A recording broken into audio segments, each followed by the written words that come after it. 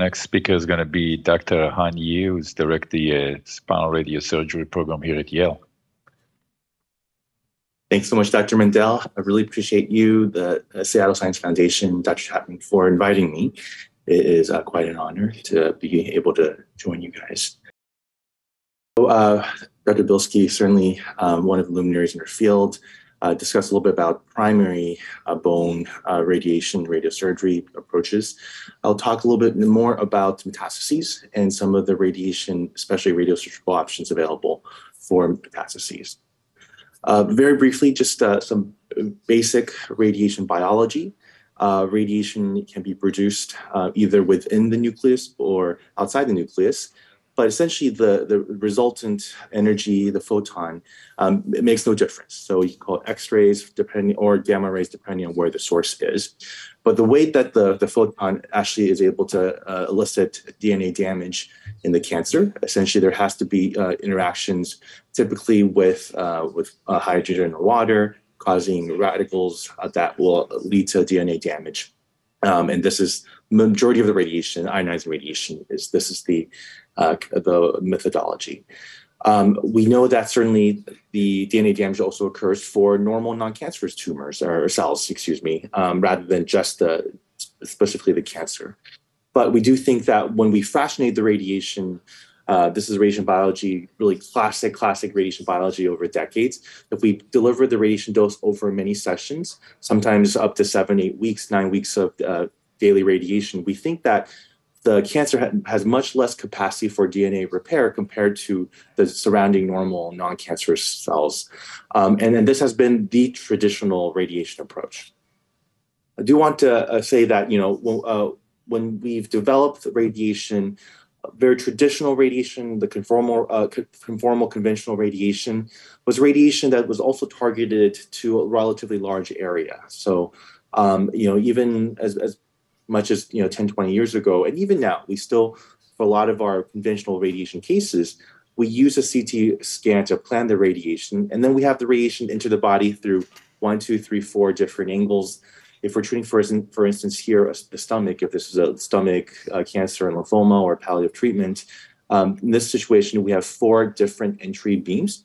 They all meet around the stomach. That's where you get the full dose. But you see that you do have relatively high doses um, elsewhere as the beam enters and exits the, the body.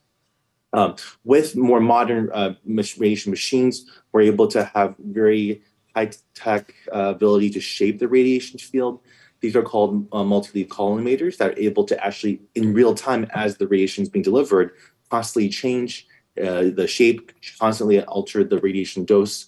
Um, and, um, and that's allowed us to become even more conformal with radiation treatment compared to a long time ago intensity modulated radiation treatment. This is using those uh, multi-leaf collimators, using very advanced computer algorithms, uh, and being able to uh, come up with really conformal treatment field that we didn't have you know 20 years ago before IMRT. So if we did just the conventional radiation treatment of the pelvis, you see it's a very relatively even radiation dose in kind of the box-shaped field that uh, is the product of uh, the uh, the entry beams with IMRT, we're able to much more conformally shape the radiation dose around our target volumes. In this case, spare some of the high dose radiation to the small intestines. However, radiosurgery is a very different philosophy in terms of radiation. Rather than the fractionated conventional radiation, where you deliver relatively low standard doses every day over, say, many weeks, you, we use, uh, instead of that, that would be the slow chisel, you use a sledgehammer to really give high doses of radiation in a much more pinpoint fashion to, to do what we think uh, hopefully is the case rather than pure DNA damage um, over a long period of time, really try to ablate, really try to um, get rid of the tumor in as few as one treatment. Um, radiosurgery history goes back to actually uh, neurosurgery. this is Dr. Leksell, a Swedish neurosurgeon. He invented, helped invent the gamma knife. These days, radiosurgery can be delivered in a lot of different uh, areas of the body with the brain using gamma knife, but certainly uh, lung, um, prostate, liver, uh, bone, and then certainly spine. The key idea with radiosurgery, it's fewer treatments, one to five sessions typically in the US, very high doses per session, and we need very careful radiation treatment design, as well as what we call um, mobilization and targeting, where not just the, uh, the fact that uh, we know the patient may move a tiny bit during treatment, but we really have to try to control for that, much, much more so than we're delivering those low doses over nine weeks. Uh, the radiation biology, as we mentioned, because the higher doses per session, we think that we have a very different radiation biology response, not so much reliant on cell cycling or oxygenation. Uh, and we think that there could be potential advantages of using radiosurgery compared to the fractionated radiation. Uh, with spine metastases in general, um, very, very common. So certainly much more common than a lot of the primary bone tumors. This is, in terms of bread and butter for most radiation oncologists, seeing and being uh, being comfortable with using conventional radiation for spine metastases, just because uh, your metastatic breast cancer, lung cancer um, patients are just so common, unfortunately. Uh, the histology is clearly very important. Um, you have really wide-ranging uh, uh, chances for survival of patients you have wide ranging, basically, um, uh, radiation sensitivity of some of the histologies, whereas you have uh, certainly some histologies like your uh, lymphomas, my- myelomas, where they're exquisitely radiation sensitive. You have some cancers on the opposite end of the spectrum, sarcomas, your uh, melanomas, your renal cell uh, carcinomas, where we think that using conventional radiation in particular has a much lower chance for durable local control and and the, and the metastatic space is is evolving tremendously in the last 10 years. Not only do you have new therapies that can allow some patients to live much much longer with metastatic cancer uh, in particular immunotherapy for patients with high you know pdl1 expression for instance lung cancer uh, especially. We now know that there are subsets of some of these metastatic patients where they have really um, they have novel um, targeted therapies available due to specific driver mutations. Uh, common examples would be within lung adenocarcinomas, your EGFR ALK mutations. And these patients can survive much, much longer, many years more than kind of the long, no, uh, the, the classic um. Uh, when conventional spine radiation is given, this kind of harkens back to what I showed with the stomach. You really have a very even dose of radiation throughout where the radiation beam is coming in. Most commonly, it's one beam from the front of the body, one beam from the back. Back. You give the same dose to the spinal cord, same dose to the tumor, same dose to even the here in this case the anterior mediastinum. Okay, uh, and we know that yes, there's some uh, good chance for pain response, short-term pain response from a lot of the classic trials that were done. But we know that the pain response is not 100%. And we know that the local control is also not 100%. And in this case of mine, this was a, a metastatic melanoma patient um, where uh, the patient actually had surgery at outside institution, not a ton of debulking of the tumor. There was just uh, some stabilization. We gave uh, conventional radiation just because there was no space between tumor and, uh, in this case, the cauda equina and some of the major nerves. And then eight months later, we see that there's progression of the tumor despite the conventional radiation. And, uh, you know, this is a little bit earlier than, than usual, but not necessarily surprising, particularly given this radio resistant histology. So the alternative is radiosurgery of the spine. Uh, Dr. Bilsky mentioned already a little bit about uh, the basic design, but essentially what we're using is we're using all the modern techniques to give as much dose as safely possible to the tumor in the spine, to the bone, uh, at risk for harboring microscopic uh, disease, and then trying to spare radiation um, as much as possible to surrounding spinal cord or, or major nerves. Um, in this case, we're able to get the dose drop off from at least 18 gray down to about 10 to 12 gray over just a couple millimeters, which is very unique. Uh, this is not, there's very few places in the body where we get this rapid uh, uh dose drop off over a distance.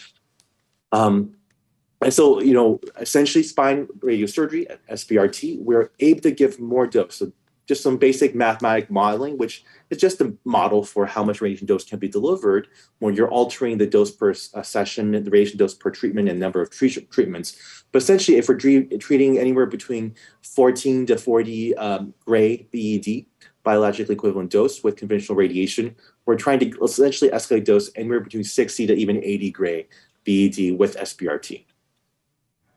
Uh, we have evidence that uh, pain relief, complete pain relief, uh, can be better following SBRT compared to conventional radiation. Uh, very good quality of life from the MD Anderson data. And then now, this is just in the last two years, now we have actually randomized prospective evidence that the pain relief can be better with a dose escalated radiosurgery compared to conventional radiation. This is uh, the Toronto um, Princess Margaret trial, our multi institutional trial led by, by Princess Margaret they uh, randomized 24 gray and two fractions SBRT uh, against 20 gray and five fractions. Notably, this was all comers in terms of uh, spine metastases. They did not have to be just uh, radio-sensitive histologies. That they included radio uh, radio-resistant histologies.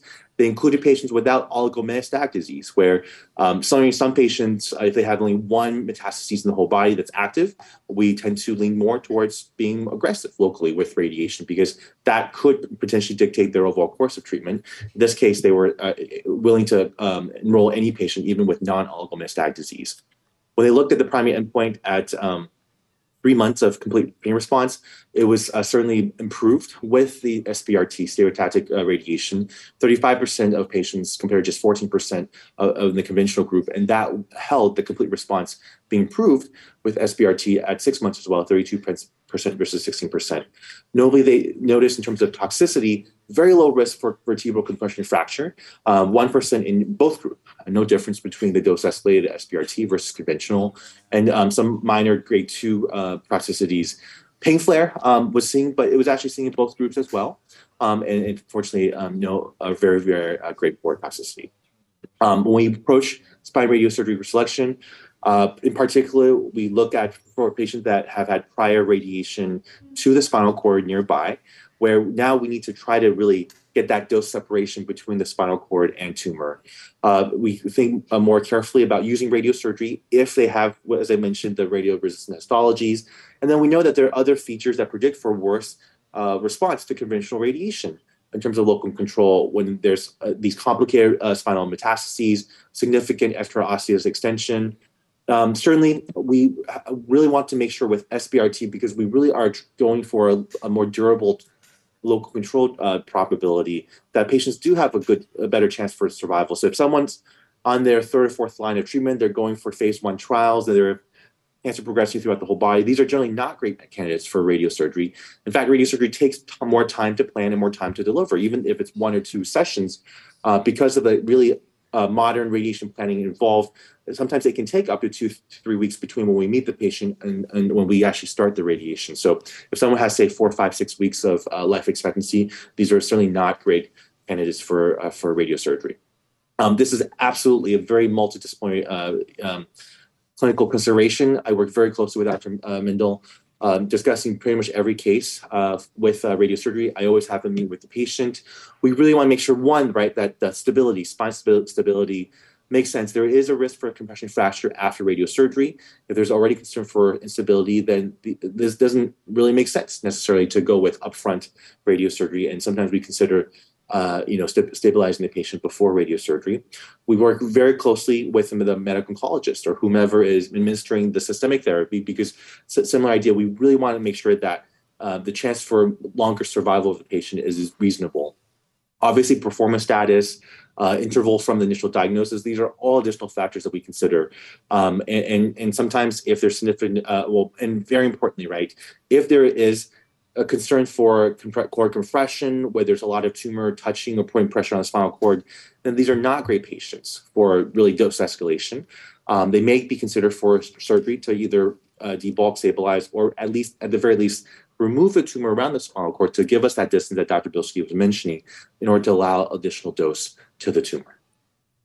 Uh, we, uh, when we exclude patients from radiosurgery, as I mentioned, if it's relatively recent radiation, there's already progression. Sometimes these uh, tumors are so uh, radiation uh, resistant that uh, we need to give a little bit more time for the spinal cord to even have some capacity for partial repair from the radiation. And obviously, if there's any additional concerns about patients being able to physically tolerate being on the treatment machine.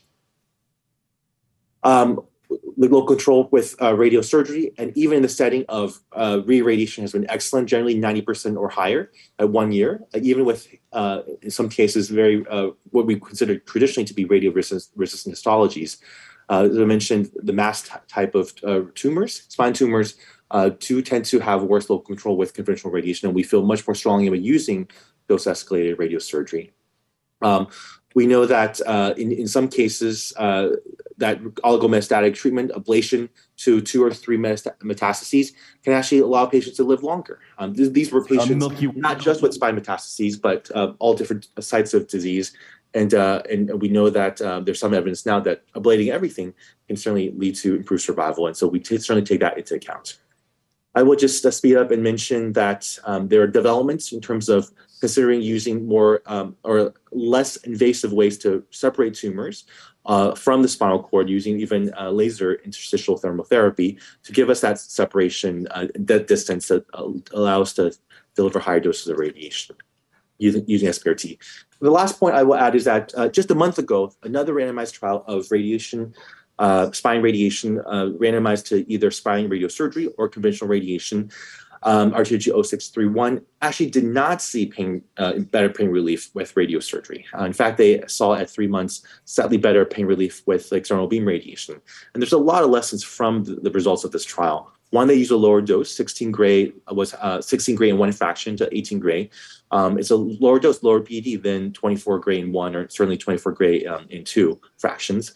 Uh, they did not consider SINS uh, scores and stability up front before treatment. They allowed the external beam radiation to be delivered to a wider treatment area, one level above and below the target volume. Um, and, and, and quite frankly, a lot of patients at uh, one or two years, um, whether it's not feeling complaining this pain score or just um, you know, uh, not surviving, it was a relatively small proportion of patients available at 24 months. That said, there were there were very low uh, risk for um, uh, toxicity. Uh, the vertebral compression fracture risk was the same in both arms, 20%, uh, which which was very uh, reassuring. And there were no spinal cord um, toxicity from um, any of the treatments.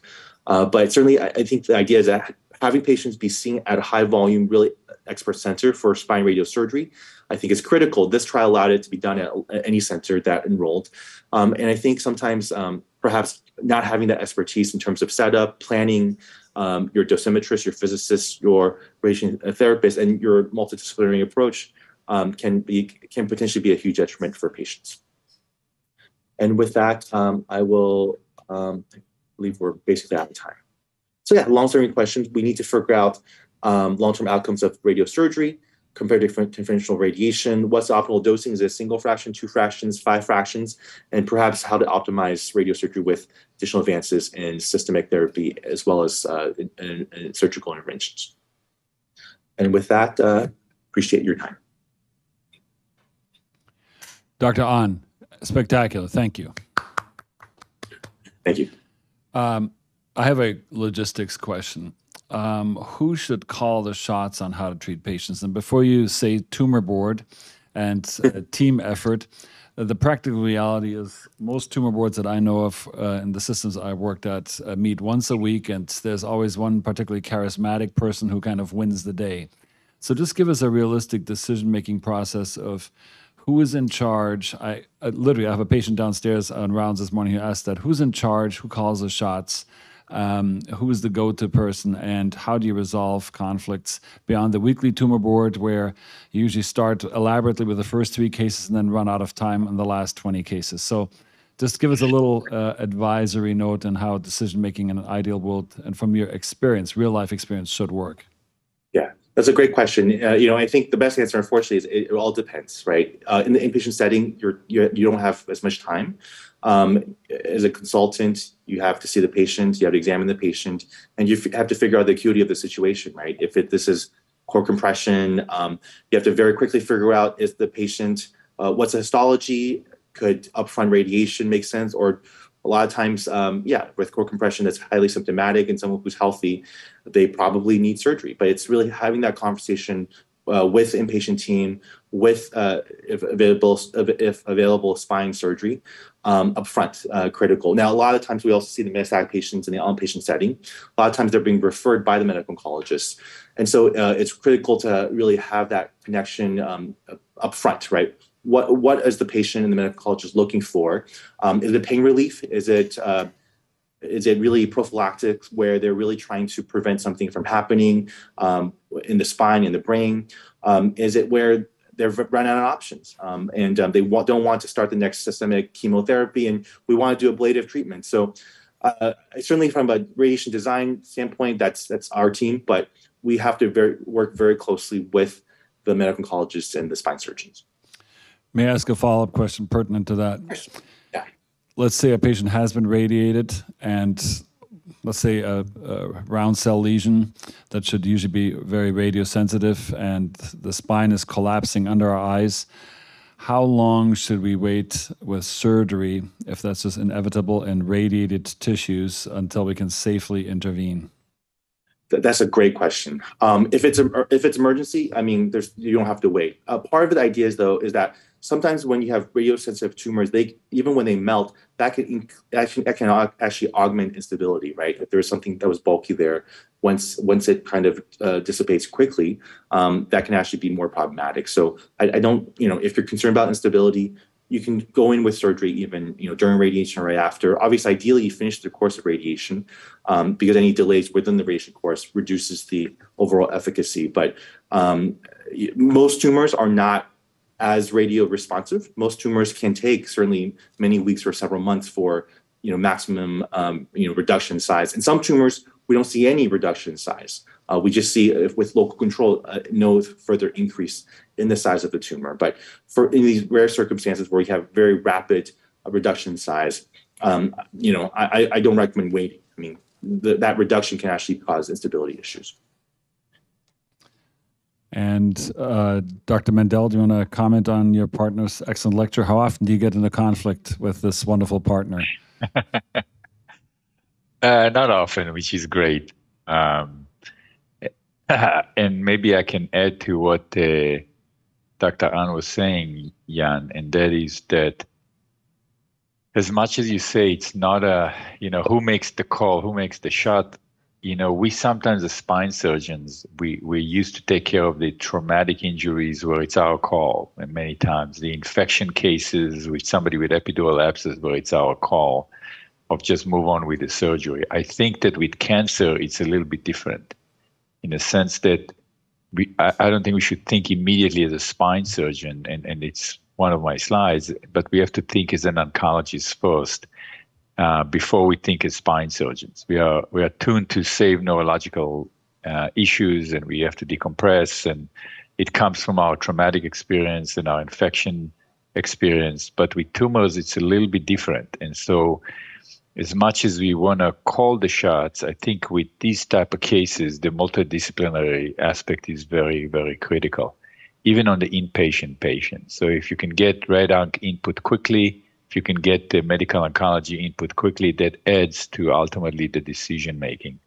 And Han knows, and I say it all the time, when you put a consult to radiation oncology, we do not want the typical consult that says, if you guys don't do surgery, we can radiate. That's that is not helpful. It's we really need an input as to, you know, whether this is something that reasonably should be radiated, can be radiated, cannot be radiated. Um, it has to be a very interactive and a, and, a, and a meaningful input from our team. And when it comes to patient with tumor, that is that is critical. Just wanted to uh, thank you for the great talk. Can you hear me okay? You know, yep. one of the things that I think is a huge point as a as a spine surgeon is, and, and I really appreciate the point you made is um, finding these centers of excellence, um, trying to get our patients there in time. Um, I, I, don't want to belabor this point too long, but what have uh, some of the resources you've seen um, been helpful in getting patients over to you guys uh, to in order to really uh, you know get their treatment underway? Um, because when we see people that are in extremis obviously we need to you know get them decompressed but getting them the ideal treatment getting them these these newer progressive uh, radio treatment surgeries um, you know what are some of the things that you've seen been helpful to the patients that come into you guys say for me um, it's uh, when we hear from the referring or whether it's medical oncologist or outside uh, neurosurgeon. It's really making sure the imaging is there, scheduling everything. Uh, when they come in for consultation, we do the radiation planning. So we start the planning right then and there. Um, because things do take uh, some time. And I also make sure that um, you know uh, doc, that Dr. Mendel is he's able to see the patient soon after. Um, a lot of times when I hear about a patient, I'll directly include him and his team, and, and um, you know we we aren't able to always see the patient together, but certainly something that we sometimes try to do, uh, just because of how much time it takes. Great, thank you. Let's see, next, are we back into the lab or which is our yeah. next section? Yeah.